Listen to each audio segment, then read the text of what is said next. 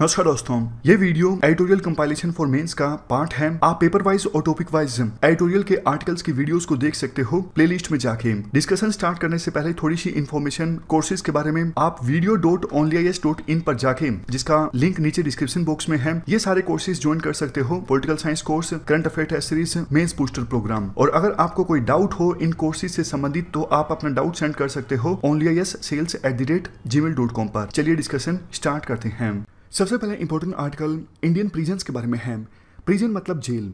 आप GS paper two के इस टॉपिक से आर्टिकल को रिलेट कर सकते हो। देखो इंडिया में जेल की खबरें तभी आती हैं, या तो कोई अपराधी, या फिर विचाराधीन कैदी, जेल तोड़कर भाग जाता है, या फिर जेल में दंगे हो जाते हैं, या फिर किसी हाई प्रोफ़ाइल एक्यूज की एक्सट्रेडिशन की मांग इंडिया के द्वारा की जाती है। जैसे देखो, विजय माल्या अभी फ़िलहाल यूके में है, और इंडिया उनके एक्सट्रेडिशन की मांग कर रहा है यूके से। लेकिन विजय माल्या यूके की कोर्ट में ये आर्ग्यूमेंट दे रहे हैं कि इंडिया में प्रिजन्स की कंडीशंस अच्छी नहीं है, जेल खस्ता हालत में है, इसलिए मेरा एक्स्ट्रेडिशन इंडिया में नहीं होना चाहिए। हाल ही में जब इलेक्शंस चल रहे थे तो उस समय नेशनल क्राइम रिकॉर्ड ब्यूरो के द्वारा एक रिपोर्ट रिलीज़ की गई प्रिजन स्टैटिस्टिक्स इंडिया 2016 तो ये इस रिपोर्ट पर ज़्यादा चर्चा हुई नहीं, क्योंकि उस समय इलेक्शंस का शोर ज़्यादा था। तो अभी बिल्कुल सही वक्त है इस रिपोर्ट पर कुछ चर्चा करने का। देखो, इस बार जो ये रिपोर्ट रिलीज़ की गई, नेशनल क्राइम रिकॉर्ड ब्यूरो के द्वारा, चूँकि ये रिपोर्ट हर साल रिलीज़ की जाती है, इस बार जो ये रिपोर्ट रिलीज़ की गई, इसमें इंपॉर्टेंट डेमोग्राफिक डेटा नहीं है प्रिजेंस में कैदियों के बारे में। जैसे देखो, हर बार जब रिपोर्ट रिलीज़ की जाती थी तो ये बताया जाता था, जो कैदी जेलों में बंद हैं, उनमें से कितने मुस्लिम्स हैं, कितने दलित्स हैं और कितने आदिवासीज हैं। जैसे देखो 2015 में जब ये रिपोर्ट रिलीज़ हुई थी तो उस समय ये पता लगा था कि जेलों में बंद जो कैदी हैं, उनमें से देखो 55 परसेंट अंडर ट्रायल पॉपुलेशन तो मुस्लिम्स की दलित्स की और आदिवासीज की हैं।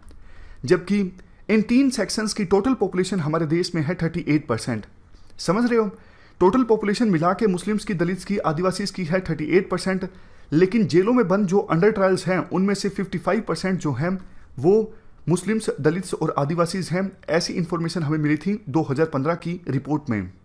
हैरानी वाली बात वैसे ये भी है फाइनली जो कन्विक्शन होता है, उसमें देखो मुस्लिम्स, दलित्स और आदिवासीज की संख्या होती है 50 परसेंट। तो फिर अंडर ट्रायल्स की संख्या इतनी ज़्यादा क्यों?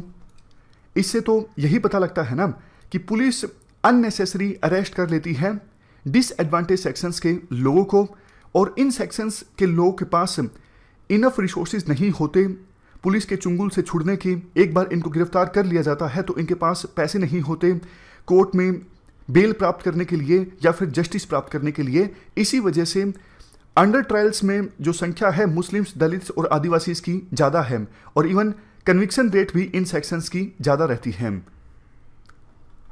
वैसे देखो 2016 में ये जो रिपोर्ट रिलीज़ की गई है, इस रिपोर्ट से एक बात ये पता लगता है टोटल जितने कैदी बंद हैं जेलों में, उसमें से 68 परसेंट तो अंडर ट्रायल है। मतलब विचाराधीन कैदी है, अभी उनका केस चल रहा है। पूरे वर्ल्ड में किसी भी देश में इतने ज़्यादा अंडर ट्रायल्स मतलब इतने ज़्यादा परसेंटेज ऑफ़ अंडर ट्रायल्स किसी भी देश में देखने को नहीं मिलते। तो इसका मतलब साफ़ तौर पर यही है, कहीं ना कहीं हमारे लीगल सिस्टम में जस्टिस सिस्टम में बहुत सारी कमियाँ हैं। पुलिस अननेसेसरी अरेस्ट कर लेती है और जिनको गिरफ़्तार किया जाता है खास करके गरीब लोगों को, उनके पास पैसे नहीं होते लीगल एड के तो इस वजह से वो जेलों में बंद रहते हैं काफ़ी काफ़ी समय तक और बाहर नहीं निकल पाते। इसके बाद next point prison statistics India 2016 में ये है, जम्मू एंड कश्मीर में प्रिवेंटिव डिटेंशन के तहत गिरफ़्तार किए गए पर्सन की संख्या में तीन गुना इजाफा हो गया। 2015 में देखो, जम्मू एंड कश्मीर में 90 लोगों को गिरफ़्तार किया गया था।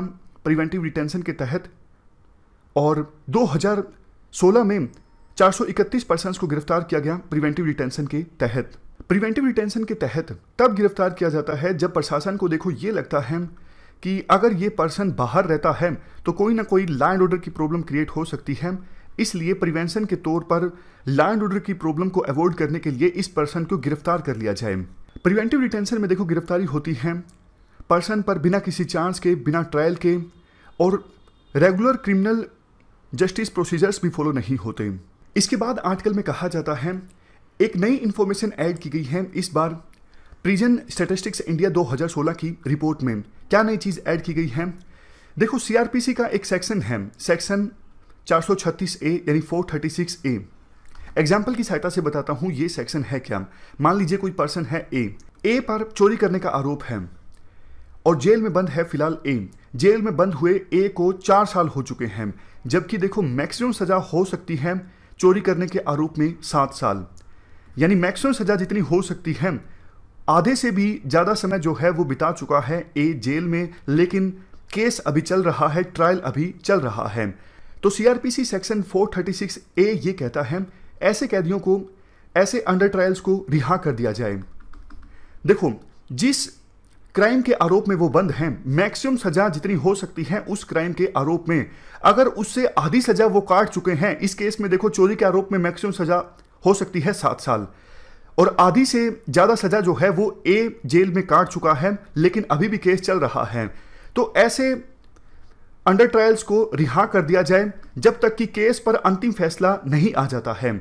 जब अंतिम फैसला आ जाएगा और ए पर आरोप सही साबित होता है तो बाकी बची हुई सजा जो है, इस केस में तीन साल, ए, काटे। समझ रहे हो बात को? फिर से समराइज कर देता हूँ, यानी सेक्शन 436 ए ये कहता है उन अंडर ट्रायल्स को रिहा कर दिया जाए जेल से, जिन्होंने मैक्सिमम सजा जितनी हो सकती है, उसकी आधी आधी से ज़्यादा सजा जेल में वो काट चुके हैं। इवन लॉ कमीशन के द्वारा तो यह भी रिकमेंडेशन की गई थी हाफ़ के बजाय वन थर्ड का प्रोविज़न कर दिया जाए। यानी मैक्सिमम सजा चोरी के आरोप में हो सकती है एक को सात साल। तो सेवन बाई थर्ड अगर सजा काट चुका है ए जेल में तो उसे रिहा कर दिया जाए, जब तक कि अंतिम फैसला केस पर नहीं आ जाता है। और फैसला अगर ए के विरुद्ध आता है तो ए अपनी बाकी जितनी सजा बची है, उसे पूरा करें। यह रिकमेंडेशन दी गई थी ला कमीशन के द्वारा। देखो, इस प्रोविज़न से संबंधित इंफॉर्मेशन ऐड की गई है। प्रिजन स्टेटिस्टिक्स इंडिया रिपोर्ट 2016 में ये अच्छी बात है। लेकिन ग्राउंड रियलिटी जो है, वो अच्छी नहीं है। रिपोर्ट के अनुसार 2016 में पंद्रह अंडर ट्रायल्स को पाया गया था, वो एलिजिबल हैं। इस प्रोविज़न के तहत जेल से छूटने के लिए, लेकिन उनमें से सिर्फ़ नौ सौ उनतीस अंडर ट्रायल्स को छोड़ा गया। एमनेस्टी इंडिया की रिसर्च रिपोर्ट ये कहती है कि प्रिजन ऑफिशियल्स को इस सेक्शन के बारे में पता ही नहीं होता। और पता होता है तो वो जानबूझ के छोड़ते नहीं अंडर ट्रायल्स को इस प्रिजन इस सेक्शन के तहत। इसके बाद आर्टिकल में ये कहा जाता है प्रिजन स्टेटिस्टिक्स इंडिया 2016 रिपोर्ट ये भी मेंशन नहीं करती कि कितनी बार प्रिजन में विजिट्स देखने को मिली ऑफिशियल्स की, या फिर non official visits for example district magistrate जजेस सोशल वर्कर्स या फिर रिसर्चर्स की। ये डेटा देखो, इतना भी ज़्यादा डिसएग्रीगेटेड नहीं होता। इस डेटा को आसानी से कंपाइल किया जा सकता है। अगर ये डेटा कंपाइल किया जाता है तो हमें ये पता लग जाता है कौन सी प्रिजन्स ऐसी हैं जहाँ पर मॉनिटरिंग होती रहती है और कौन सी प्रिजन्स ऐसी हैं जहाँ पे जो ऑफिशियल्स हैं जा नहीं पाते। तो इस डेटा से फ़ायदा ये होगा ट्रांसपेरेंसी आएगी प्रिजन्स के एडमिनिस्ट्रेशन में और इल ट्रीटमेंट नहीं होगी कैदियों की, क्योंकि प्रिजन ऑफिशियल्स को डर लगने लगेगा कि कभी भी विज़िट हो सकती है। हायर ऑफिशियल्स की मजिस्ट्रेट्स की जजेस की या फिर सोशल वर्कर्स की या फिर रिसर्चर्स की। अगला पॉइंट रिपोर्ट में ये कहता है 2015 में इंडिया की प्रिजन्स में 115 कैदियों की अननेचुरल डेथ हुई थी। जबकि देखो 2016 में ये आंकड़ा बढ़ के हो गया 231 अगर समय समय पे हायर ऑफिशियल्स की विजिट्स होती रहती हैं प्रिजन्स में तो कैदियों की ट्रीटमेंट अच्छे से होगी और अननेचुरल डेथ के आंकड़े को कम किया जा सकता है।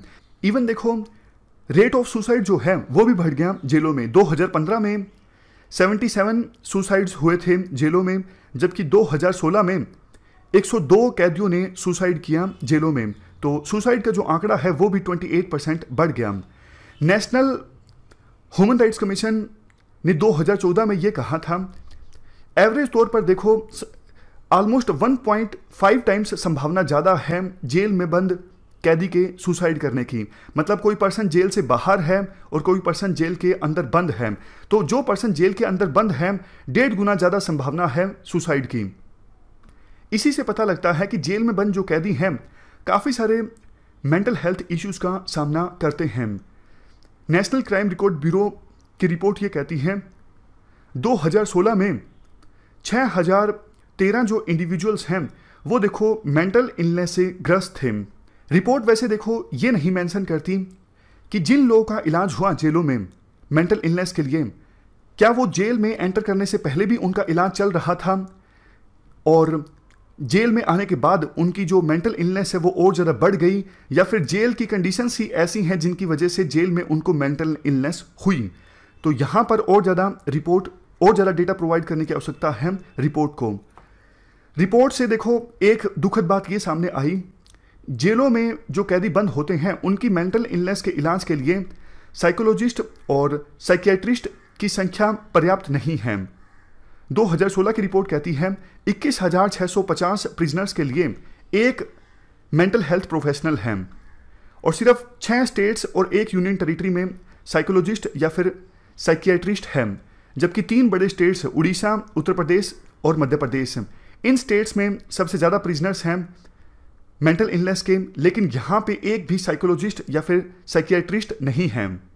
तो ये सारे पॉइंट्स सामने रखने के बाद आर्टिकल में लास्ट में कहा जाता है, देखो प्रॉपर इंफॉर्मेशन होगी, तभी तो डिबेट हो पाएगी ना, तभी तो प्रिजन्स की जो कंडीशंस हैं, वो इम्प्रूव हो पाएँगी। लेकिन जो ये प्रिजन स्टेटिस्टिक्स इंडिया रिपोर्ट्स जारी होती हैं इंफॉर्मेशन काफ़ी सारी छुपा ली जाती है, काफ़ी सारी इंफॉर्मेशन दी नहीं जाती है तो फिर कैसे डिबेट होगी कैसे संवाद होगा, कैसे प्रिजन्स की जो कंडीशंस हैं, वो इम्प्रूव हो सकेंगी। तो ये पूरा आर्टिकल हमने डिस्कस किया। प्रिजन स्टेटिस्टिक्स इंडिया रिपोर्ट 2016 के बारे में चलते हैं आगे।